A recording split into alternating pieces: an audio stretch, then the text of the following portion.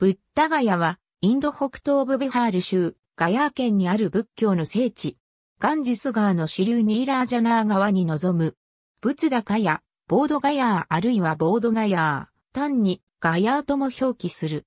釈迦が菩提樹の下で浄土を開いたとされる地として知られる八大聖地の一つで仏教では最高の聖地とされている。紀元前3世紀頃にアショーカ王の建立とされる寺院を起源とするマハーボディ寺院がある。マラーター王国の最小バーラージー・バージーラーをといった権力者も訪れている。インド東部、ビハール州、ネーランジャヤー川のほとりにある。ブッダガヤには、中心にあるブッダガヤの大菩提寺と、その周りにある各国各宗派の寺院がある。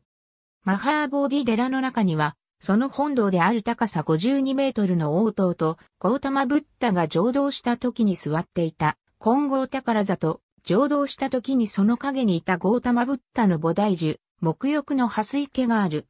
2013年には、ブッダガヤ爆弾テロ事件が起こされている。ブッダガヤの大菩提寺の菩提樹ブッダガヤにある、インド産日本寺。ありがとうございます。